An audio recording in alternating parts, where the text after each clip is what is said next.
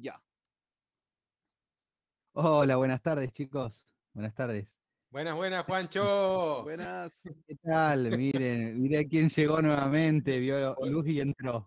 Volvió nuestra razón de existir. El negro más Wow. negro regresó. Grande, Adam.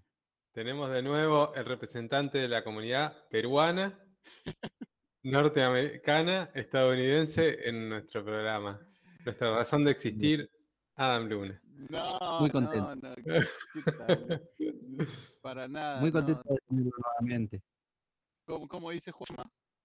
Digo, muy contento de tenerte nuevamente. No, gracias, gracias, gracias muchachos. Gracias. Y estoy contento de estar aquí nuevamente con todos los, los acontecimientos que pasan hoy en día, pero agradecido de estar aquí y nuevamente compartir con ustedes, ¿no?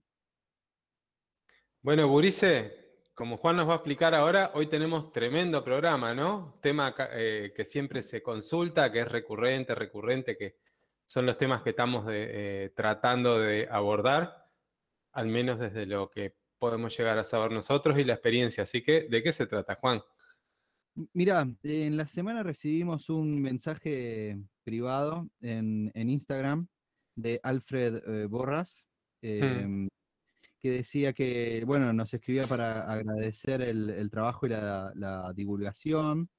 Eh, es una delicia descubrir de su mano el mundo del torneado y las particularidades de todas las maderas que trabajan, muchas de ellas desconocidas para mí en el pequeño rincón de la península ibérica, donde tengo carpintería. Y bueno, escuchándonos dice que eh, decidió comprarse, se decidió finalmente a comprarse un torno decente y, y bueno, veía que eran tantas las, las opciones y dice que si, si algún día se deciden por este tema, aunque sea desde la óptica experta, le estaré muy agradecido el tema de eh, que expliquemos qué mirarle, eh, cómo elegir el primer torno, qué ver si es usado y demás, así que nos pareció un tema fantástico y bueno, acá vamos a tratar de hacer lo posible, ¿no? Como anilla al dedo, el pie que nos tiró acá el, el amigo. Alfred.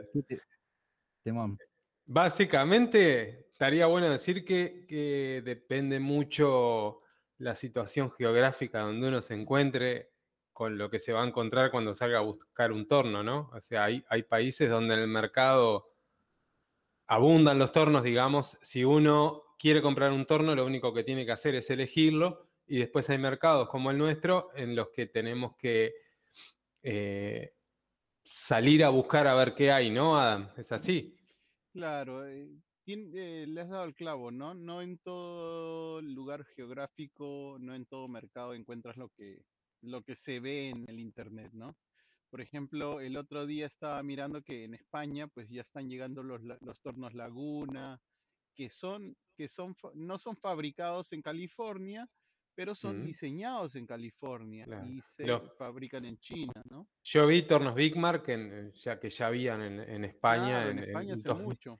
En el 2008 vi dos tornos Big Mark grandes, chicos, se conseguían sin ningún problema. eh, hace, hace mucho. Y, y claro, en, Europa pues han estado llegando tornos desde siempre.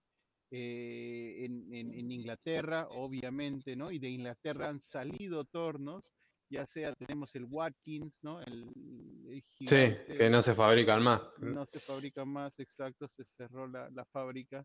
Eh, ¿qué otro torno? El, El Harrison Graduate, el Coronet, el Record. Power, Record Power. el BB36, que ahora creo que se fabrica en Alemania, que Eh, era como el gigante de la tornería. Y, y si vemos ahí, dijiste el Record Power, ¿no? El Record Power Sí. parece que tu- tuvo una fusión o compró parte de la fábrica que es este Nova. Axminister. Ah, Nova, qué raro. Y La cosa es que comparten piezas. Con, si te das cuenta con los Ah. chucks, el Record Power con el Nova tienen, eh, tienen el mismo cuerpo, le hacen las mismas garras. Y eso es hace que hace cinco años comenzó esa fusión y esa entrada de Record Power aquí a los Estados Unidos. Ojo que Record Power está- es una fábrica muy antigua. eh, Claro. Y, com- y comenzó a entrar a los Estados Unidos hace no más de cinco años. Y, La- sí, las, ojo, las herramientas Record Power sí están en Estados Unidos. Hace, yo compré hace 24 años como torno, digo, ¿no? Como torno. Claro, herramientas, pero no torno, justamente. Sí. Ahora, lo, interesante es aclarar antes que nada, porque nosotros estamos nombrando marcas y fabricantes, que no necesariamente para poder tornear y hacerlo bien hay que tener un torno, eh, de hecho ni siquiera fabricado para tornos, o sea, hay tornos que se puede hacer uno mismo. Tenemos ejemplos clarísimos como por ejemplo Dave Larson, que trabaja con un torno, hace increíbles cuencos con un torno que es un eje con dos chumaceras, ¿no? Con, con... Ahora lo que tiene que cumplir son algunos requisitos que vamos a, ir enumerando a medida que pase, que avance el programa, que son los que hacen que uno pueda tornear con comodidad. Otra persona que torneaba, después terminó con un BB36, pero todas las obras, al menos por las que yo lo admiro, las hizo con un eje con dos chumaceras, es el inglés Melvin Firmager, Firmager que es un gran innovador en el campo del torneado verde y, hacía unas obras increíbles y también torneaba con un, con un eje con dos chumaceras puesto arriba de un banco.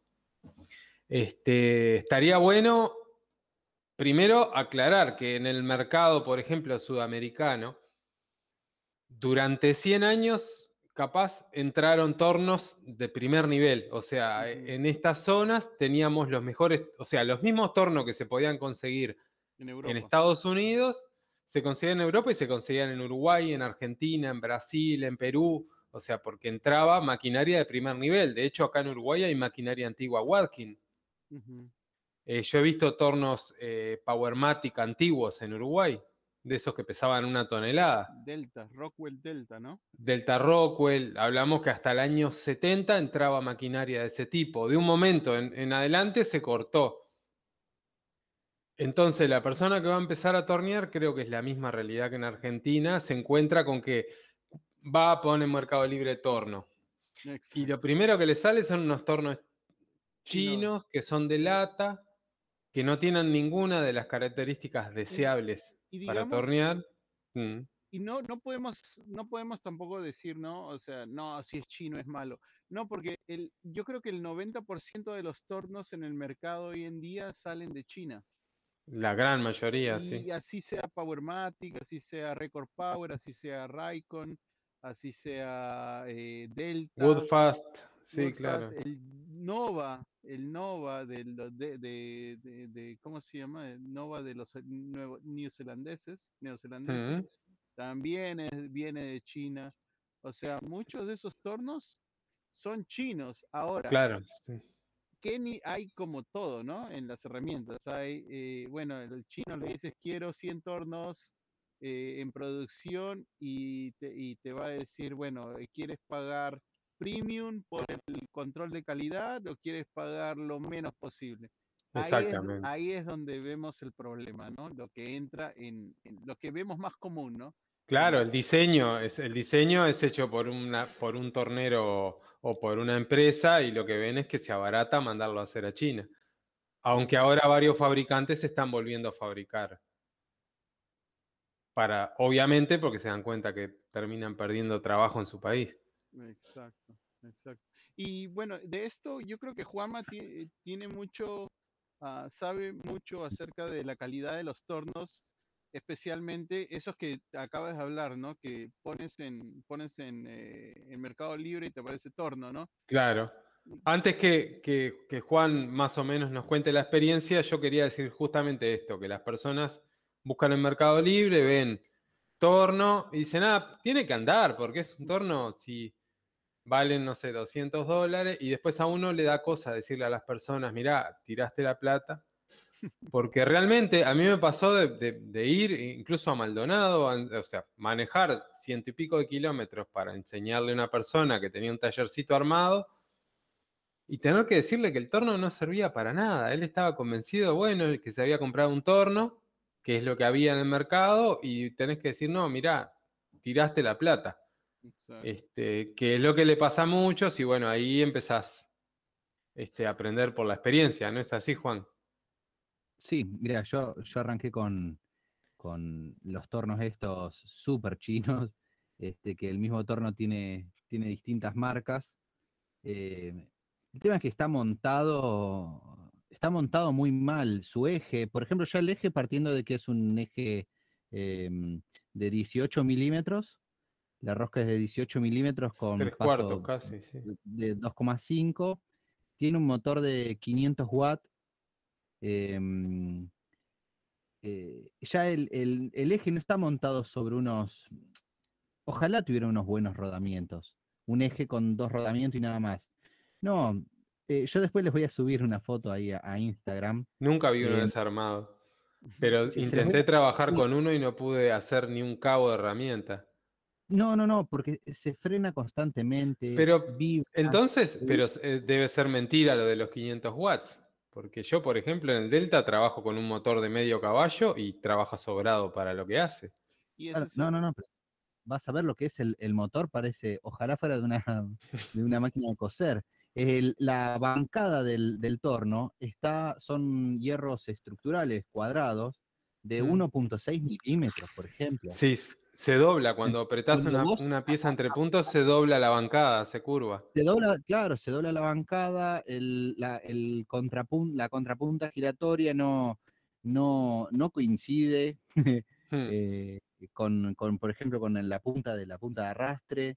eh, y eso genera de que te vaya frustrando todo el tiempo, porque no puedes ni siquiera hacer eh, un mango de una herramienta, que es el- Claro. lo básico, lo que uno arranca. Básicamente es tirar la plata. Eso, a eso íbamos. O sea, no nos da a veces ni siquiera para hacernos de los primeros pasos en, en- en el oficio, porque la pasás más mal de lo que la pasás bien.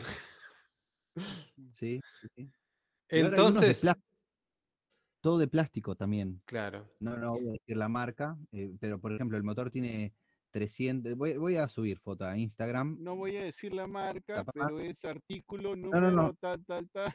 pero por No, no, ejemplo en Estados a Unidos se venden también eh, como se venden también ese mismo modelo de torno, exactamente igual. Claro, Claro, en Estados Unidos también llega las cosas. Es como les dije, ¿no? Eh, Es cuando, mundial. Cuando los fabricantes van, mandan a fabricar alguna herramienta, dice, depende del mercado, ¿no?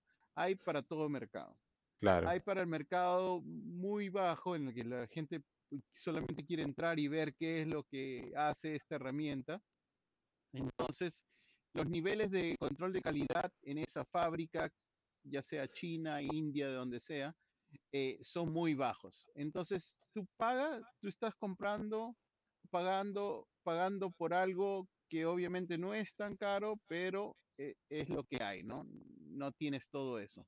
Entonces, Exacto. este, es así, es así. Y, y para hacerle un disclaimer aquí, no tenemos nada contra los chinos, por si es que algún chino nos está escuchando. A mí me gusta no, no tiene nada. Estamos hablando de ciertos tornos. Sí, la- Entonces, sería bueno eh, empezar diciendo que, primero, el tipo de torno que uno vaya a comprar, a, re- a restaurar o lo que sea, depende mucho del tipo de trabajo que uno vaya a hacer también, ¿no? No es lo mismo si uno quiere hacer lapiceras que si uno quiere hacer cuencos de medio metro de diámetro. O sea, un torno para hacer lapicera no va a bastar con algo chiquito. Ahora, lo que tienen que tener todos en común o sea, sea de lo que sea el torno, es que tienen que ser robustos. Así sea un mini torno, tiene que ser robusto, de hierro fundido en lo posible, en el caso de ser un torno de, de fábrica, digamos, no casero. El hierro fundido tiene la ventaja de que cuando uno lo golpea, no queda vibrando como una campana, digamos, sino que ¡puc! parece que absorbiera el sonido. Esa es una de las razones por las que siempre se lo eligió para fabricar máquinas, ¿no? Porque tienden a absorber la vibración y porque es un, algún material estable, digamos, como metal, ¿no? Que no dobla, sino que más bien parte. Y en el caso de los tornos es excelente. Ahora, primeramente, en la antigüedad era raro que los tornos vinieran con bancada. O sea, lo normal era que vendieran los tres elementos, que son el cabezal de arrastre, que es el que tiene el eje que gira, el apoyo herramientas y la contrapunta. Y los torneros, carpinteros, le hacían la bancada a su gusto. Normalmente en madera, que era famoso porque decían que la madera también que el torno de madera vibraba menos, que era más ameno de trabajar y lo que se le hacía muchas veces era ponerle un hierro en ángulo en la parte donde rozaba, ¿no? al mover la contrapunta para que no se nos fuera desgastando y haciendo pozos en la zona que más usamos, que con madera dura se supera. También habían algunos que venían obviamente con bancada, ¿no? De fierro fundido, ya los de más nivel que le daban un peso importante. Sí, en el caso del Myford. Eso ya es un torno de los años 60, ¿no? Más de los 60 para abajo no, no, no era muy común. Ahora, lo que tenían en común todos los tornos de esa época es que eran fuertes y pesados, ¿no? Claro. Entonces, ¿qué es lo que hay que fijarse? Primero, que en los tornos, no en todos los tornos antiguos se va a dar, pero es algo que se puede solucionar, es que tengan un eje grueso, o sea, lo más grueso posible, mínimo una pulgada. Buscar, por ejemplo, que la rosca del eje tenga un paso que sea estándar. En tornería se ha estandarizado un poco el tema de los pasos de rosca, ya sea 8 hilos por pulgada o 16 hilos por pulgada ya sea una pulgada de eje, una y cuarto, una y media, siempre se tiende a mantener los ocho hilos. En los tornos antiguos no se ve. Era más común ver, por ejemplo, una y media por seis hilos. De hecho, las fábricas tenían su propio pase porque todavía, si hablamos, por ejemplo, fines del siglo XIX, todavía no se había universalizado la rosca. Whitworth. Entonces, Holzapfel, por ejemplo, tenía su paso, que es un equivalente creo que a unos 9.75 hilos por pulgada. Ahora, eso se puede solucionar. Uno puede desarmar el eje y llevarlo a retocar el torno y hacerle un paso. Puede afinar el eje y hacerle un paso como el que uno quiere. O puede hacer un adaptador como este, que en muchos lados ya se consiguen prontos, que tiene una rosca interna eh, del eje del torno que tenemos y una rosca externa estándar, ¿no? Entonces, eh, ¿en, qué nos, ¿en qué nos beneficia tener una rosca estándar? Que en el momento de comprar un accesorio, un, mandil, un mandrilo plato, un plato de tornillo, lo que sea, uno pide en el momento de comprarlo y nos va a salir más barato que ir a un tornero. Aparte, no siempre es cómodo o tenemos tornero de metal cerca que nos presten atención para, para que nos fabrique la pieza que precisemos. Entonces es más cómodo y práctico tener una rosca estandarizada. Lo próximo que hay que fijarse, que es muy importante, es que eh, en muchos de los tornos antiguos, el, sistema que tenían de rodamientos, que en realidad no son rodamientos, son cojinetes de bronce macizos, ¿no? Eh, muchos en una sola pieza que se cónica que se regulaba y otros en una pieza de dos partes. A cualquier persona le puede aterrorizar la idea de tener un metal rozando contra otro metal y, creer que eso vaya a durar, pero en los automóviles tenemos el ejemplo de que eso es muy duradero porque todos los automóviles funcionan con ese sistema. Y de hecho muchas veces es hasta, más durable que, que los rulemanes. Ahora, no es tan fácil de mantener y de reemplazar, ajustar en el caso que haya que hacerlo. Un ruleman se cambia fácil, pero un, cojinete de bronce hay que ajustarlo y es un material carísimo que ha caído mucho en desuso, pero claro, en esa época era lo más normal y se conseguía fácil. Es un bronce, el, el cojinete propiamente dicho es un bronce fosforoso que resiste muchísimo a la fricción y los ejes son de acero templado. Entonces, al estar la pieza de acero del eje muy pulida, eh, trabaja contra, la, contra, las dos mitades del cojinete y tiene un depósito de aceite o una aceitera que hay que abrir todos los días antes de empezar para que le gotee aceite. La clave es mantenerlo siempre lubricado. Este, en el momento que lo dejamos de lubricarse, se empieza a tener un desgaste brutal. Si está siempre lubricado, al estar siempre con una película de aceite, no va a haber desgaste. Ventajas de este sistema es que tienen eh, más precisión. De hecho, los tornos para metal de precisión no utilizan rolemanes, sino que trabajan con cojinetes de bronce hasta el día de hoy. Porque se dice que, por ejemplo, entre las bolillas o rodillos de un rulemán o rodamiento, siempre hay, eh, eh, hay vibración. Pero en el caso del metal contra metal no hay, no hay lugar a esa vibración. Una ventaja es que tienen ajuste, o sea, son dos mitades, entonces tiene una, un cierto margen de ajuste que a medida que pasa el tiempo uno va apretando dos tuercas y eso le vamos sacando el, movimiento. El problema es si cuando uno compra uno de esos tornos, el eje ya tiene juego y no tiene más regulación, es que nos vamos a, encontrar con que el momento de ajustarlo va a ser difícil encontrar personas entendidas que lo, y que lo quieran hacer y en el caso de encontrarlo, nos vamos a encontrar con que es un trabajo muy costoso. O sea, las personas especializadas que lo hacen nos van a cobrar, eh, eh, bueno, lo que les corresponda a, su tarea y es bastante, bastante caro. Y el material es muy caro. En el caso de Uruguay, por ejemplo, el kilo de ese bronce especial vale unos 150 dólares, para que tengan una idea. Y a veces eh, en la antigüedad yo conocí torneros que uno guardaba la viruta de haber torneado ese bronce y te la volvían a comprar porque lo fundían acá. Ahora bien importado y la viruta esa la tenés que tirar. Entonces tenés una pérdida tremenda de material. Y encima después, por lo general, si el eje está deformado, hay que rectificarlo a la piedra, como si se tratara un cigüeñal, hay que endurecerlo. Y todo eso es costo, costo, costo, costo. Sin embargo, si se tratara de un rulemán, sería simplemente sacar rulemanes, poner nuevos y seguir adelante. En el caso de tener rulemanes, si tienen desgaste los rulemanes, es facilísimo desarmarlo y reemplazarlo. Entonces, vamos a tener una gran ventaja. Hay los dos tipos y si los cojinetes están sanos, podemos comprarlo tranquilo o si conocemos un tornero que lo arregle, este, estamos bien. ¿Qué decías, Adam? Y ahora hay dos tipos de rulemanes, ¿no? Sí. dentro del campo de los tornos. Sí.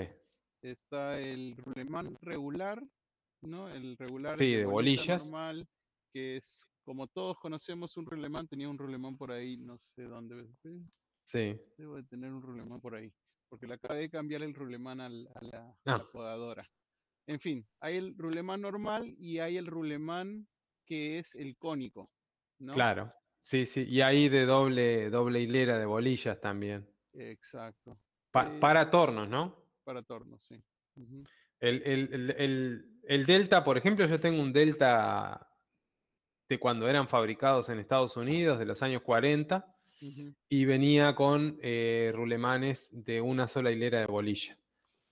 Estuve leyendo en foros que eh, a, a mediados de la fabricación se dieron cuenta que tenía mucho desgaste y eh, los modelos de ese año en adelante empezaron a venir con el que está más cerca de la rosca con una doble hilera de bolillas y le da más durabilidad. De todos modos, al ser tan fácil de cambiarlos, no es, a mí me duran dos años, por ejemplo, los rulemanes sin agarrar juego. Este, la ventaja del rulemán cónico es que son eh, desarmables los rulemanes y son rodillos con forma cónica. Entonces se maneja con un sistema de una doble tuerca, tuerca contra tuerca, y uno le puede ir ajustando para sacarle el, juego.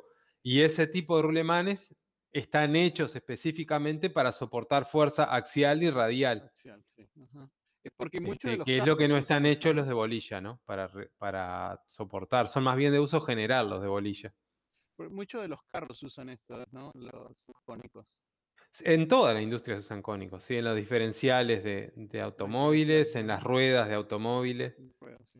Imagínense el, trabajo que tiene que hacer una rueda de un automóvil si serán resistentes. Y la ventaja es que son relativamente baratos, no es algo caro. Y yo les diría que un buen rulemán cónico dura toda la vida de un torno, o sea, toda una vida de un humano y capaz que el que venga después los tenga que cambiar. No es muy común tener que cambiar rulemanes cónicos en una máquina, ¿no? a no ser que pase algo que se rompa.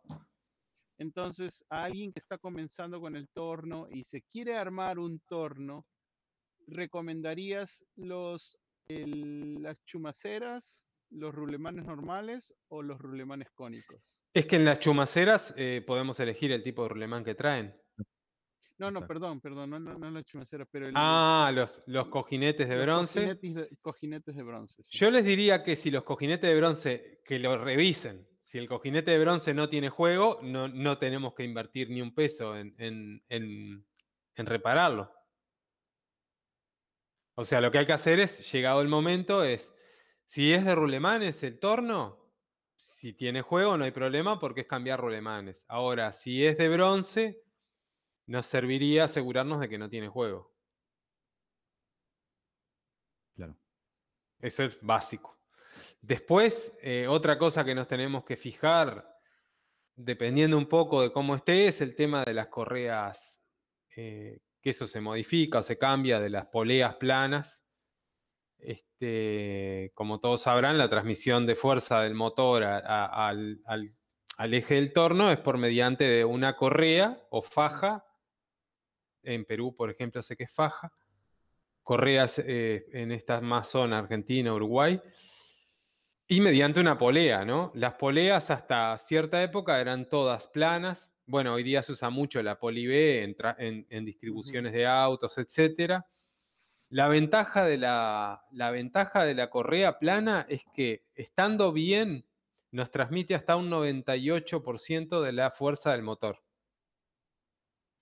O sea, yo sé que si tengo un motor de un caballo, la correa plana me va a estar transmitiendo casi, casi un caballo. Ahora, si yo tengo correa trapezoidal, que es mucho más cómoda de cambiar, la puedo comprar en, cualquier tienda de repuestos, ya de la medida que yo quiera, nos quita un 20% de la fuerza del motor en la por el modo en que transmite, porque la fuerza, en vez de hacerlo en una cara plana, lo hace en las paredes del, del trapecio porque es una correa trapezoidal.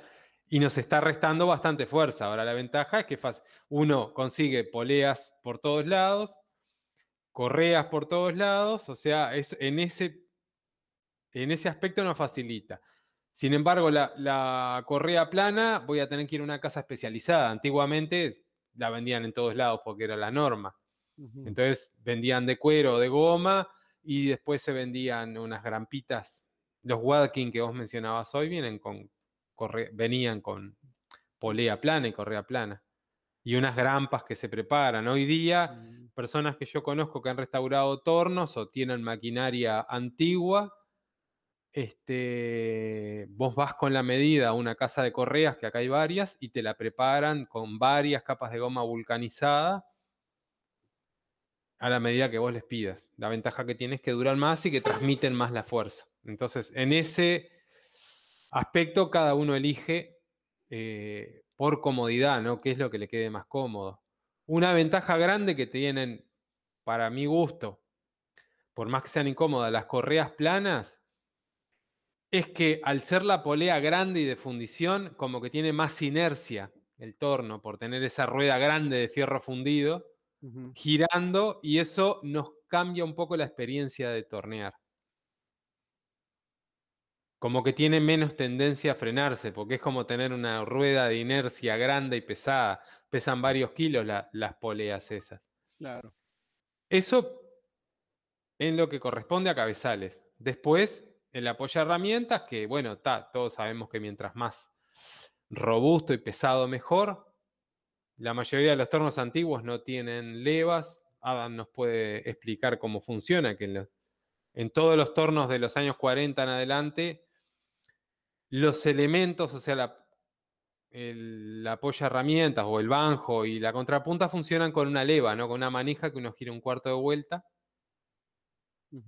y se mueve, ¿no? Exacto. Sí, y eso es, eh, estamos hablando del sistema, es un sistema que se llama, tiene por nombre el Reeves, porque es, eh, yo creo que la persona que le inventó ese sistema se llamaba Ah. Reeves. Entonces le pusieron el Reeves mo- Motor. Entonces, ¿qué es? Son, son dos, este, dos, dos poleas, pero que son cónicas. Entonces vienen así y la con- conicidad eh, y son correa y tiene que usar correas en B.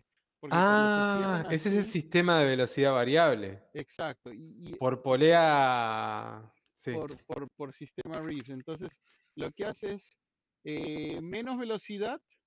Entonces, ¿qué vas a hacer? Va a abrir la, la, la faja, va- van a abrir las, las dos correas, las dos poleas, y van a caer en el lado más pequeño, ¿no? Con un resorte eh, funciona. Eh, Exacto, con un resorte en medio y las poleas se abren y se bajan. Y, es, y esa manija es la que hace la función de abrir o cerrar las poleas, ¿no? Entonces quieres más, más velocidad, eh, ¿cómo era? Más velocidad, no, más velocidad las, las, la abres. Menos velocidad la cierras porque está más suelta. Claro. Es Entonces- este, bastante incómodo en mi Sí, experiencia es el malísimo, sistema. es malísimo. Y difícil de mantener, ¿no? Es malísimo. Es, eh, yo tuve uno de mis primeros tornos, fue el segundo torno, fue un Jet 1412, creo que era un mediano. Pero el sistema muy, muy malo. Es de lo peor porque hay un desgaste. De hecho, es que es como el precursor de la velocidad variable electrónica, ¿no? Exacto. Porque los, sí, los Powermatic, los Oliver, hablamos de torno de los años 50, venían con ese sistema, que era innovador, ¿no? Exacto. Pero no, no. eh, mucho desgaste. Tienes que asegurarte que esté bien aceitado el resorte, porque el resorte a veces se pone pegan. duro. Y no Sí. avanza y tú le sigues dando, le sigues dando y de repente te quedas con el, la manija en la mano. Sí. Entonces, tiene Por que- eso hay que, hay que evitar todo ese tipo de... Y no despegan las poleas, se quedan, se quedan juntas. así es, Sí. así es, así Me es, pasa ¿no? con, con el mío. Sí, ahí- sí. por ahí tengo un, un par de videos de YouTube de- del problema que tuve yo en ese tiempo y, y cómo lo solucioné, pero eh, malísimo. Y hay un- mucho desgaste en la polea también. Tú veías sí, mucho, de goma. sí, mucho desgaste en esa polea en B que tú estás diciendo. eh, Sí. Veías la mitad de la polea, eh, siempre pedazos de goma ahí en el... En el Son innovaciones que no resistieron el paso del tiempo ni la práctica. Exacto, no, no, no muy práctico para nada. Entonces, si Ta. ven algo, un sistema así, mm, du- dudaría en comprarlo, Claro. ¿no? Entonces, es bueno decir que el, motor no es algo que haya que mirar, porque un motor es algo que se consigue sin problemas, usado nuevo, y después se le coloca. Algo deseable como mejora a cualquier torno es ponerle velocidad variable por intermedio de un variador de frecuencia, que no es barato, pero nos mejora mucho la experiencia del torneado porque nos hace que eh, no tengamos que estar cambiando poleas, algo que yo hasta hace dos años hacía constantemente, que Cabe- cada cabe vez que uno quiere cambiar la velocidad, tiene que cambiar la polea. claro. Ca- Cabe recalcar que eh, y- y- a- igualmente Mm. todos los tornos, por ejemplo, yo tengo el Big Mark atrás mío, ¿no? A pesar de que tiene variador de velocidad, tiene también diferentes pasos en la polea, ¿no? Tienen las dos poleas y, y diferentes pasos, ¿no? Para cambiar la Claro, para manejar distinto torque, ¿no? Cuando Ajá, tor- precisamos... torque, más que nada. ajá, Exacto, eso hay que tomarlo en cuenta, por eso por más que tengamos velocidad variable con un variador, nos conviene tener al menos dos o tres poleas, grande, chica, mediana. Exacto. Este, nos da la tremenda ventaja que cuando uno está arrancando un bloque grande de madera irregular, puede empezar con la velocidad más baja, ir subiendo, y lo mismo para roscar, que es un tedio tener que estar sino bajando la velocidad, ¿no? Exacto. Claro. Después, apoya herramientas. eh, ni hablar que se pueden hacer si uno quiere los apoya herramientas, pero el banjo, digamos, el pedestal, este, tiene que ser fuerte, robusto, tener una manija cómoda. Todo se puede ir modificando o mejorando, pero sabemos que van a ser gastos posteriores y son cosas que hay que mandar a hacer. Entonces hay que tratar o buscar de que todo esté lo más completo posible, ¿no? Y después la contrapunta, lo mismo, tiene que tener un buen sistema de fijación, tiene que ser cómoda, robusta. Y algo bueno es que eh, tengan un cono morse. El cono morse es un tipo de cono que es donde calzan los elementos, los utensilios, el punto de arrastre, el punto giratorio, que sea estándar, ¿no? Que sea número uno, número dos o número tres. Lo más normal es número dos. Así de la misma manera, cuando uno precisa algo, va. De hecho, bueno, acá se consigue un punto giratorio. Si deme un punto giratorio para cono 2. Entonces uno ya sabe que lo compra, lo pone y, se acabó el problema. Para los que, recalcando algo, ¿no? Para los que no, eh, para los que quieren comprar en Amazon, en Estados Unidos o de donde sea, ¿no? Sí. Ese es, lo consiguen por MT2. ¿okay? Claro, Morse Taper. Ajá, el taper. O sea, cono Morse. Cono Morse, sí, exacto. MT2. Y es bueno que sepan que es universal, ¿no? O sea, que es lo mismo un número 2 en la China, en Japón, en Estados Unidos o en Uruguay o en Argentina, es un cono número 2. Ese es el que va, para, para tornería ese es el que va. No, vas a encontrar cosa mm, eh, para tornería. a, un, a un, tornero de, metales y le dice fabricame un cono Morse número 2 y te lo hacen sin, sin plano ya. Claro. Igual, bueno, es más barato. Esas cosas vienen estandarizadas de... Sí de hecho, hay adaptadores de cono 1 a 2, de 2 a 3, etcétera, etcétera, y son accesibles, o sea, no es caro. El otro día me fijaba acá y creo que costaba, para que tengan una idea, un adaptador de 2 a 3 creo que costaba 15 dólares. Sí, se consigue fácil. Sí. Ya de hecho el taladro de pie tiene, claro. tiene mandril, viene con cono morse.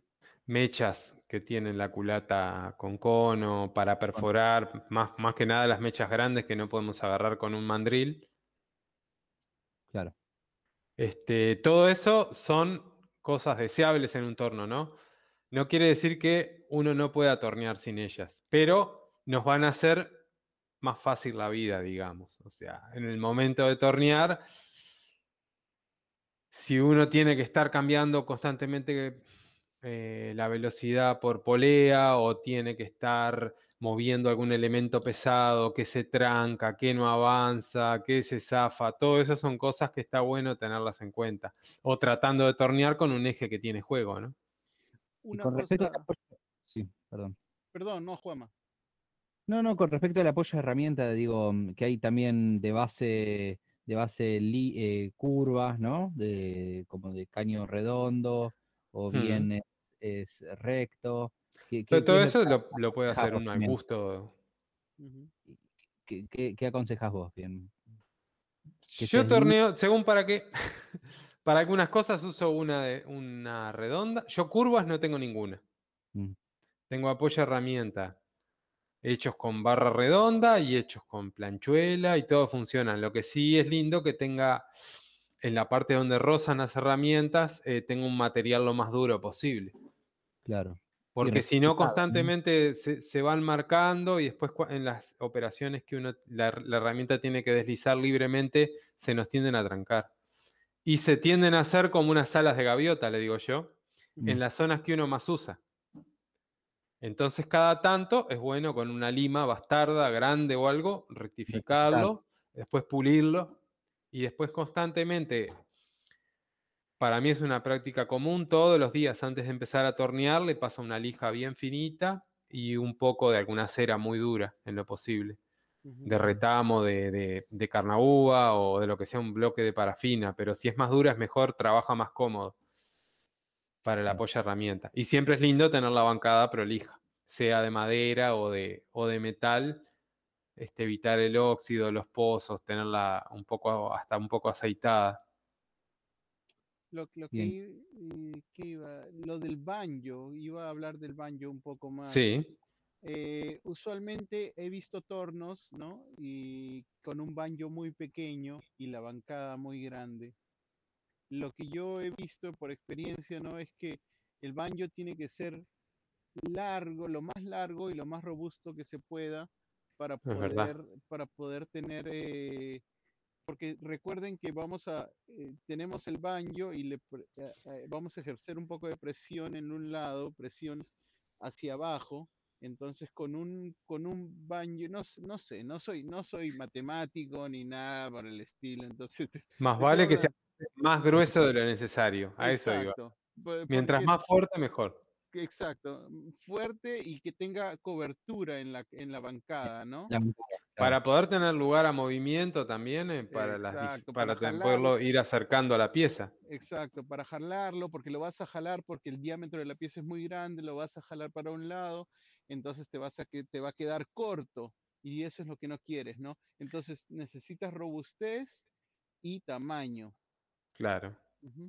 Una realidad es que cuando el pedestal o banjo no es suficientemente fuerte y el apoyo herramienta cede, aunque sea medio milímetro, nos lleva a que la herramienta se enganche y, y golpetee. O sea, el, apoyo herramienta y el pedestal o banjo tienen que ser eh, lo más fuerte y robustos posible. No pueden ceder, eh, no pueden eh, tener lugar a movimiento. Entonces, si uno lo va a construir, lo ideal es que lo construya lo más fuerte posible. Y si son comprados, o sea, si son los originales del torno, por lo general es mejor porque son de hierro fundido y el hierro fundido, como les explicábamos hoy, tiene menor lugar a vibración. No, no, no transmite tanto las vibraciones.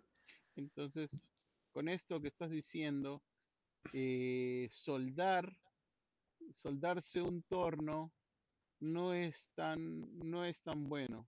Tiene que estar hecho con a conciencia. Si es soldado, tiene que ser robusto. O sea, más exagerado, más de lo que precisamos. Claro, claro. Este, lo más grueso posible, lo más pesado posible.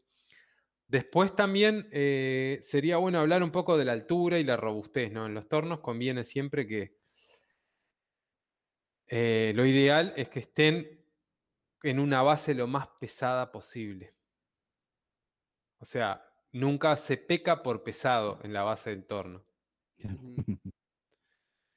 Normalmente se, veía mucho que lo llenaban de bolsas de arena en la base. Concreto. Este, Claro, lo que sea, si lo podemos abulonar a un piso de concreto, mejor. Este, estaría bueno decir que la altura normal de un torno depende un poco del tipo de trabajo, pero un estándar sería la altura del codo o un poquito más. Si uno se para en posición normal, la altura del codo tendría que ser donde está el centro del eje del torno. Puede ser un poquito más y a veces un poquito menos según el tipo de trabajo, pero entre el codo y 5 centímetros hacia arriba está la altura eh, estándar para que no nos genere dolores de, cuello y problemas de columna, que todos sabemos que en, todo este tipo de oficios, que uno está muchísimas horas parada en el torno, en mi caso a veces 8 o 10 horas por día, este, nos terminan generando cefaleas en las cervicales. Entonces, con cambiar, me pasó este, tener cervicocefaleas y con cambiar 2, 3 centímetros la altura del torno, se eliminó el problema. Entonces, son cuestiones, vicios que hay que tener muy en cuenta en el momento de hacer un torno, porque el cuerpo es más importante que la máquina, porque sin cuerpo no podemos tornear y la máquina va a seguir ahí mucho más tiempo que nosotros. Este, entonces, bueno, hay que eso, que la bancada tiene que estar lo más nivelada posible, robusta. Puede ser de madera, puede ser de hierro, si es de hierro fundido mejor si conseguimos solo los elementos, o sea, los, cabezales, muchas veces en los desguazaderos, en, Uruguay es chatarrería, en Argentina es chacaritas, se consiguen eh, pies de tornos de metal antiguos al kilo, o sea, como si fueran chatarra, que simplemente unirlo con, con, con hierro T o con, doble, con hierro U o con vigas de madera incluso, y podemos aprovechar esos pies de fundición sin problema. Ya incluso tienen los agujeros para bulonarlos al piso o alguna otra traviesa. Siempre podemos encontrar algún modo de cargarlo con peso para que, para que el torno esté en una base lo más sólida posible. Y no, el trabajo nos lo va a agradecer porque cambia muchísimo la, situación con, con el torno en una base muy, muy sólida. Así es. Y, en cuanto, yo, yo añadiría, ¿no? En cuanto a mantenimiento en el torno, no hay mucha ciencia. No. No hay mucha Hay que mantener engrasado y aceitado todos los elementos. Porque en el torno hay mucho, mucho polvillo también, ¿no? Y todo lo que va engrasado como que se entran a, pelmazar. Y es lindo tenerlo limpio. Hay que tener siempre todo el sistema de levas o de todo lo que sea tornillos eh, para ajustar la contrapunta, todo, siempre conviene sacarle las tuercas grandes, ponerle unas gotas de aceite o grasa grafitada, volverlo a poner. Yo lo hago religiosamente. Sí, porque claro, uno sabe que en el momento que lo va a aflojar, va a estar flojo y no va a estar eh, atascado, engripado de, de polvillo. Lo mismo el avance de la contrapunta o el, el quill conviene hacerlo que salga todo para afuera, les ponemos unas gotitas de aceite y lo volvemos a hacer que entre. Es el tornillo que va por dentro. Son detalles, ¿no? Para cuidar. Es lo mismo que el mantenimiento de un automóvil. La vida útil va a estar en... El mantenimiento. Exactamente. Una cosa que la gente se, también se desespera, ¿no? Eh, se ve mucho, es el tema de también elegir y, dice, no, con copiador, con copiador, con copiador, y después nunca se lo, terminan usando, ¿no? Los buenos copiadores valen miles de dólares. Claro, pero vienen estos chinos también, los tornitos muy chicos, con copiador y con una herramienta que no corta. Claro arranca, desbasta, no sé qué es lo que hace. Para que una eh, herramienta como esa corte, tiene que estar girando a, a 10.000 revoluciones, que es el caso de los tornos copiadores serios. Claro. Este, que por acá no, no había, pero yo no, nunca más he visto. No sé, incluso no sé si hay. Primero, nosotros estamos hablando desde el punto de vista del, del, tornero artesano, ¿verdad? del oficio propiamente dicho. En, el caso del copiador, el operario lo que tiene que hacer es nomás ir cargando el torno, o sea, sacar y poner, sacar y poner. Este, no sé, en Uruguay no existe más.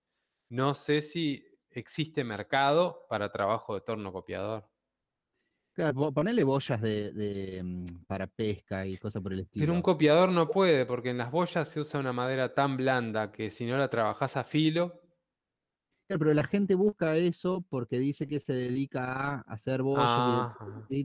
Ahora, una persona ya con el con la cancha, o sea, con lo que, con la experiencia, la sacás vos, ¿cuánto podés llegar a tardar en hacer? No sé si te hace trabajar más rápido el, copiador ese. Por eso, vos con un formón, hiciste dos pasadas, lo cilindraste, le diste ¿Viste la forma? Chao, salió. Quedó pulido, claro, sí, sí, sí. No, no, creo que si no se va a trabajar a escala industrial no tiene sentido un copiador. Y que los copiadores de ese tipo de tornos justamente no funcionan. No, sirven. Y no o sea, es comprar fierro para no usarlo nunca. Sí, sí, no gasten dinero en eso. Creo que el lado, bueno, quedó bastante cubierto el tema de, lo que es un torno. Después lo vamos a cubrir con, con bastantes fotos y todo, como para que quede un poco más claro los distintos sistemas de cojinetes. este, ojo, Entonces, eh, unos puntos principales que sacamos en todo esto. Eh, para las piezas, para los, para, para el, para el eje, el, el cono Morse MT2. Sí, o 3, si es un torno grande pero dos, eh, Claro, dos es el más estándar, sí. para no confundir a la gente. Dos, para cono Morse, el tamaño de la rosca. Uno por ocho, uno y cuarto por ocho. Uno y cuarto por ocho, ajá. Es lo más estándar. Sí. Porque hoy en día tú vas, si quieres comprar un plato de garras, es uno por ocho o uno, eh, uno y cuarto. cuarto hasta uno y medio. Eh, exacto bien raro el uno y medio, pero es un cuarto a ocho por ocho. Eh, lo demás es bien difícil de conseguir. Y si es más fino, va a vibrar muchísimo porque no tiene fortaleza. Exacto. Entonces, tener en cuenta eso, eh, tener en cuenta la robustez del torno. Sí. Eh, si, si, si, pueden, que sea cast iron o cómo se le llama. Hierro fundido. Hierro fundido eh, o, si, o si lo van a hacer y lo piensan soldar, asegúrense que las piezas que van a soldar sean lo más robustas posible y que eviten vibraciones porque las vibraciones van a ocurrir en esa pieza que soldaste mal. Claro. Después, eh, saber que en un torno grande podemos hacer trabajo grande y chico, pero en un torno chico solo podemos hacer trabajo chico. O sea, la escala del trabajo que uno quiere hacer va a ir dependiendo del tamaño del torno. Ahora, en un torno muy grande podemos hacer todo tipo de trabajo. Capaz que nos resulta incómodo para tornear lapiceras porque es demasiado aparato. Y también la motorización, ¿no? No se olviden que si uno va a hacer lapiceras con un motor de, medio caballo sobra. Y si va a hacer cuencos grandes va a precisar dos o tres caballos. Con el torno de Martín Altenier, que pesa como 10 toneladas, creo que era. Hermoso, sí. Imagínate tornear, el, tornear la lapicera con ese Y bueno, ahí va el tema del tamaño, ¿no? Y, sí, Y el torno de Martín tiene un, un- un eje como de 3 pulgadas, pero eso ya es una exageración. Es Sí. una belleza. sí. Pero, Pero ¿quién le va a hacer agarrar juego a ese torno?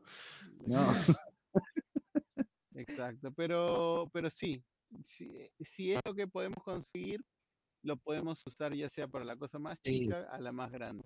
Exacto. Grande es más eh, eh, multifunción. Multifuncional. Nos sirve para más cosas.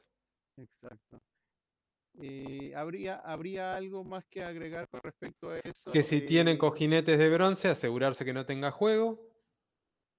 con respecto a lo que se ve en, en el Mercado Libre, Juanma, ¿de qué, de No. qué deberían, de qué deberían apartarse o huir las personas? mm, no, del del torno torno de lata. Del, del torno de lata, sí, y el de plástico. Después les dejo la foto del de ¿Hay plástico. torno de plástico? Les voy a dejar una foto. Qué lindo. Sí, le voy a, le voy a tapar la marca, pero todo, y la bancada de aluminio. Está claro, si uno quiere hacer eh, cuencos grandes, puede hacer un enorme bloque de hormigón y arriba le pone unas chumaceras así con un eje que lo manda a hacer y tiene el torno más rígido del mundo. Con un tractor, con el eje de un No, pero esa idea que yo les doy no es nada raro y se ve, es muy común. Y de hecho no se precisa más nada. con el palier de un auto. Lo lindo es que sean estéticas las cosas o que sean a gusto nuestro también, ¿no? Claro. Exacto. Sí, sí, más que nada cada uno. funcionabilidad, ¿no? Si, Sí. si eso te funciona y no te hace eh, sentir No pesar o te, o te hace, exacto, no te hace sentir frustración.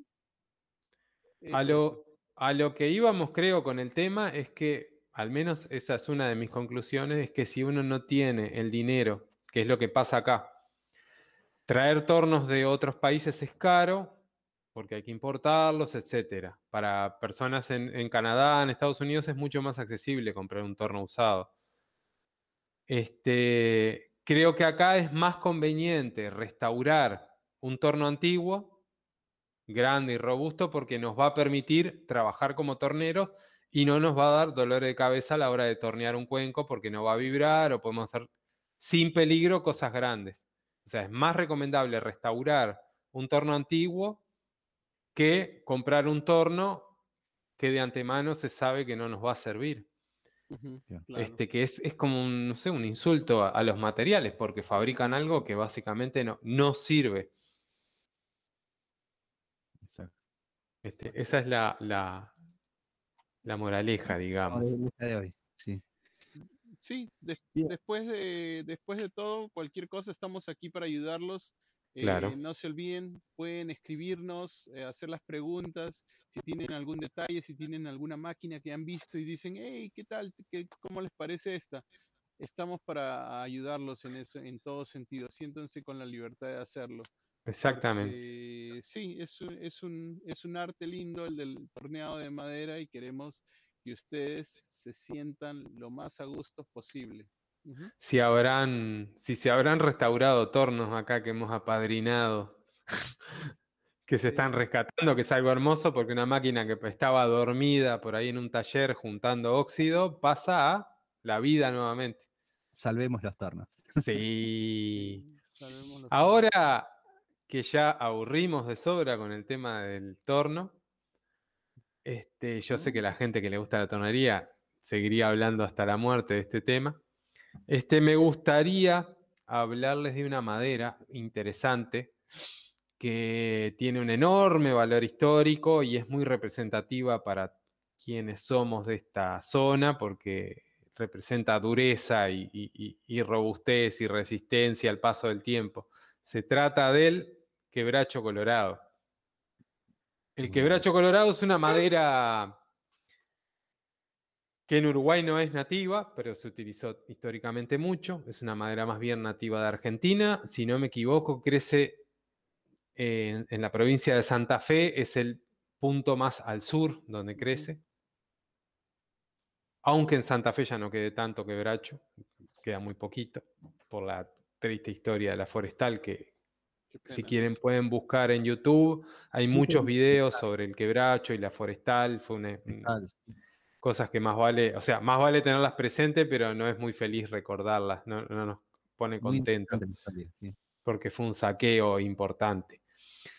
Crece en Brasil, crece en Paraguay, crece en Bolivia, creo que crece en parte de Perú. O sea, es una parte importante de Sudamérica que está ocupada por estas, por diferentes especies, porque no es un solo quebracho del, género Skinopsis.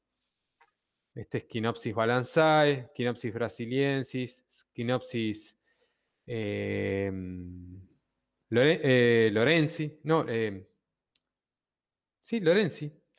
Este, según el lugar donde estemos, y bueno, en varios lugares crecen mezcladas todas las especies, son unas cuantas, después este, no tengo claro cuántas son, pero las más importantes son cuatro, cinco. En Argentina, el quebracho colorado chaqueño, santiagueño, orco y mestizo, y después en Brasil está el quebracho eh, brasilero, que es el Schinopsis brasiliensis. Todos comparten características en común, son de una familia bastante extendida que tiene, por ejemplo, a la castaña de cayú, a la arueira, de ahí que en Brasil se le llame aroeira o aroirá o alquebracho. Este, anacardiacia se llama la familia, de ahí que a la castaña cayú se le llama anacardo. Este, y es una madera muy, muy interesante porque es una de. Es una, no. Según los últimos reportes que leí, se trata de la madera más dura del mundo. Hay varios puntos a discutir con eso porque, claro, hay personas que dicen, no, de regolpe es el Bull Oak de Australia, pero ¿qué pasa? a veces se encuentra un ejemplar de un Oak que es un poco más denso que el quebracho. Pero no es algo que sea una característica general, ya que es muy variable. El quebracho es parejo, tiene la escala, en la escala Hanka es la madera más dura del mundo, es una de las maderas más densas, hablamos de maderas que tienen hasta en algunos casos 1400 kilos por metro cúbico, si tienen en cuenta que el fresno pesa 670 kilos por metro cúbico, el quebracho pesa más del doble que el fresno, y el fresno de por sí en Europa es tratado con una madera dura, por ejemplo, o en Estados Unidos. En Sudamérica, en, el, en el continente sudafricano, parte de Centroamérica y África, tenemos la suerte, la bendición de tener maderas duras en cantidad, que son cosas que en todo el resto del mundo este, no existe. Este, eso nos da ventaja de desarrollar ciertos tipos de trabajos que son increíbles. El quebracho es una madera muy linda que lamentablemente ha sufrido una mega sobreexplotación y básicamente no para madera, sino para la producción de tanino. El tanino es lo que vuelve imputrecibles a las maderas, o sea, el tanino evita que las proteínas se descompongan, entonces evita que los hongos lo ataquen y la madera no, no se descomponga, lo que ha hecho que sea extensivamente usada para postes de campo, talado sin reposición y talado de una manera, los bosques de quebracho son bastante complicados de eh, replantar porque viven en simbiosis con otras especies y por lo general se arrancan y se, se quema y se, se, se deja el terreno de una manera que impide que se vuelva a regenerar el monte. O sea, las condiciones necesarias para que el monte se pueda regenerar no se las facilitamos, al contrario, las eliminamos. Este, la industria del tanino es lo que se explotó en Argentina, en el quebracho. Millones de toneladas, miles de millones de toneladas de quebracho se convirtieron en tanino, este, en extracto de tanino para la industria del cuero, para curtir cuero y a veces para la industria cosmética, o se lo usaban algunas cremas, etcétera, pero básicamente está relacionado con la industria del cuero, o sea, la industria de la ganadería. Este, más allá de eso, este, el tema del quebracho es así, es una madera extremadamente dura, extremadamente pesada y que por suerte para todos este, es un material que si nos interesa reciclar, este, tenemos una, una, digamos, una gran disposición de madera, ya que muy poca gente le interesa trabajarlo. El quebracho en el siglo XVIII, XIX se utilizaba mucho para hacer marcos de puertas, de ventanas, o sea que es madera que estaba protegida al interior de una casa, pintada con muchas capas de pintura, lo que impide que se raje, porque como todos saben, las maderas extremadamente duras, cuando las exponemos a los elementos, instantáneamente se llenan de rajadura. Entonces, cuando uno quiere hacer un objeto a partir de esa madera, se va a encontrar con que está completamente rajado y tenemos que ir dibujándola entre las rajaduras con la sierra y, muchas veces nos encontramos con que no sacamos una pieza de 2 por 2 pulgadas. Si uno va a hacer una estructura, eso no importa, pero desde el punto de vista de la tornería, queremos madera sin rajaduras. Entonces hay que recurrir a ese tipo de madera, que fue estacionada, pintada, en un marco, guardado, y eso es algo que se consigue sin problema y es ventaja para los torneros porque hoy día no hay quien le quiera entrar al quebracho, porque es extremadamente pesada, eh, poca gente tiene la maquinaria o las ganas para trabajarlo, porque lo mismo que hacemos con quebracho lo podemos hacer con, otra madera más liviana. Entonces está ahí a nuestra disposición y la estaríamos salvando de ser quemada, porque por ejemplo en Uruguay conozco muchos casos en que se vendía al kilo para, para leña. Este, el quebracho, una de las características al menos creo yo haber sido uno de los descubridores, es que en el momento que comencé a roscar madera, claro, acostumbrado a ver libros antiguos y todo, bueno, era African Blackwood, Marfil, eh, etcétera, que son maderas extremadamente caras. Yo dije, bueno, tengo que encontrar algo que esté en nuestro sitio y que sea, empecé a probar con maderas duras, que no todas funcionan, hasta que dije, bueno, vamos a probar con el quebracho y encontré con que es una madera ideal. De hecho, a veces hasta más lindo de roscar que otras maderas exóticas. Y lo que, este disculpa que te interrumpa, y lo que dices es muy cierto. Eh, tú, tú prácticamente sí, e, eres el, que descubrió el quebracho para tornear en ese sentido, ¿no? Porque sí, más que nada para roscar. esa cajita hermosa que está mostrando ahí Juama lo dice todo. Ah, regalo de, un regalo de, una caja de agujas. Acá hay otra. Miren. Una caja para un habano. Eh, esa, de esas tengo yo también, ese salero. Hermoso. Luego van a tener que tomarle foto, Juanma, ya que la sacaste. Pero lo que dices, cabe recalcar que eh, sí, prácticamente tú fuiste el que, el que nos impulsó, el que nos hizo sacar y usar el quebracho, ¿no? Porque en Argentina decían el quebracho y el quebracho era madera para leña.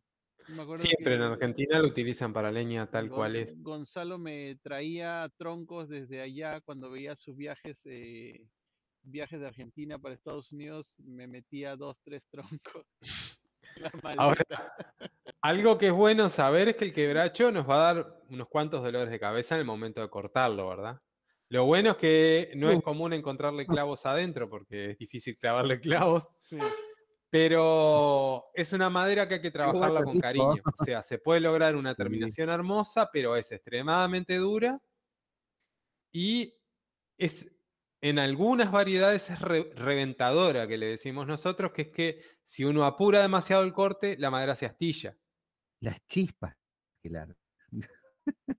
Este, entonces hay que trabajarla con cuidado. En mi experiencia, el que más da este tipo de problemas es el orco quebracho. ¿Cómo distinguimos al orco quebracho? El orco quebracho tiene unas líneas negras interesantísimas que acá quizás se alcancen a ver. Quizás se llegan a ver algunas líneas negras. Es el, el, orco quebracho es de un color rojo más intenso, más amarronado, mm. como más apagado y tiene líneas negras bastante distintivas. Este, y es bastante rizado por lo general. Después tenemos al chaqueño y al santiagueño que son muchas veces bastante entrelazados, que eso nos puede complicar bastante el trabajo, pero son más agradables de trabajar, como más graso, aunque parezca mentira una madera tan dura, es bastante ah, como grasoso. Sí. Lo que nos facilita el trabajo. Eh, se puede ver un poco la diferencia acá. Hay uno que es naranja, bien como encendido. Acá tienen la, comparación. Ah, Eso. eh, No sé si se alcanzan a ver los dos tonos. Hay uno que es orco quebracho, que es el más La- oscuro, las líneas negras. Ajá, sí y el otro es santiagueño, que es más eh, anaranjado, digamos. Y el quebracho brasilero también es de un color bien, bien anaranjado. Este, hay que animarse a entrar al quebracho, hay que tener mucha paciencia con la sierra, tenemos que afilar la sierra con el diente más peticito. Este, pero al final del día es un- es, eh, los trabajos que logramos con el quebracho son irreemplazables y es un material que hay que aprovechar antes de que todo se eche a perder. Exacto. Tengo. Y saben que no se les va a polillar si lo tienen guardado, ¿verdad? Tengo ¿Y qué por va- acá. ¿Qué polilla se va a animar a comerse el quebracho? Le van a quedar los dientes a la miseria. Acá tienen hojas de quebracho. Colorado. A mí me parece como el olivo, ¿no? Sí, ¿no? Sí. Bien, Sí. A lo, bien a lo olivo. Otra cosa que me faltó decir eh, en defensa del quebracho, y cuando se toma en cuenta, se habla del- del- del- de la dureza del tamaño en comparación con otras especies del resto del mundo, es que el quebracho colorado, aparte de ser extremadamente duro, es extremadamente grande. Porque muchas veces se lo compara con otras especies, no sé, cuando hablan de maderas duras habla del boj, pero claro, son arbustos. El quebracho colorado mide un metro, un metro veinte de diámetro, Sí, gigante. y salen vigas largas. Entonces, eh, adquiere un mayor valor porque estamos hablando de, de una de las, una de las o la madera más dura del mundo, que aparte vienen tamaños enormes. Mm. Este, el nombre, como muchos habrán interpretado, viene de quiebra hacha, ¿verdad? Quebracho, quiebra hacha. Este, y por ahí estaríamos con el quebracho. Es, es una madera que hay que animarse a usarla, muy interesante. Acá la pueden ver en combinación con otras maderas, por ejemplo. sí, Los durmientes de los mm, trenes acá eran todos de Esta es una variedad mucho más naranja que el salero que les mostré, no sé si se dan cuenta. Sí, sí, sí. Da, da muy lindo con muy lindo acabado. Ahí la tienen contrastada con cocus desde de la- Jamaica y con raíz de eucalipto. Levanta. Ajá. Contrasta muy lindo, sí, eh, termina muy lindo, Y es muy estable, ¿no? ilustra muy lindo y es estable. Sí. Es muy estable porque primero los pedazos que llegan a nosotros y son reciclados quizá tengan 100, 150 años. Este, uno se da cuenta por el estado. Y una vez que uno lo rosca y todo, no se mueve, que nos puede pasar con otras maderas, capaz que consiguen maderas más modernas, que no están tan secas o que no son tan estables, y uno hace una caja roscada y la caja se ovala un poco y se aprieta. Eso con el quebracho no nos va a pasar. Exacto. Solamente tener cuidado al trabajarlo, más que nada si es el orco, el de rayas negras, que no, no apurar mucho los cortes porque en las aristas más que nada se puede astillar un poco. Pero hasta ahí el tema del, del quebracho, yo creo que quedamos más que cubiertos. Sí. Quería mostrar una, una madera también yo de mi parte. No sé si hay tiempo, director. ¿Cómo Sí, no? por supuesto. Rápidamente. Este, esta madera de acá es el Ah, Wow. alcanfor. Mm. A ver, ¿habías Bien visto el alcanfor antes? ¿Había, ¿Habías visto el alcanfor, eh, Sí. Juanma? nunca. No, mira, parece un mármol. Sí. ¿Y y habías, habías olido el alcanfor anteriormente? Sí, sí, el alcanfor. Olido, sí. El Una delicia. sí, ese es para De las pomadas para contracturas y para para, ahuyentar las polillas en el ropero. E- Eso es, lo, eso es lo que hueles aquí, en esta madera, en Una madera, delicia. el- el- esa menta, ¿no? Bueno, el alcanfor es el, el, el- nombre típico, el nombre científico es el cinnamon, cinnamonum camphora, Cinnamomum. cinnamomum camphora, eso. Es como, como el cin- cin- cinnamon, ¿no? ¿Cómo se dice cinnamon en español? Claro, eh, la canela, La canela. canela. La canela la presenté el programa pasado, es, es, es, es, este, también cinnamomum. Ujú, Guarda que hubo repercusiones con esa canela, ¿eh? Ah, la de mierda. Sí, sí, seguimos contando.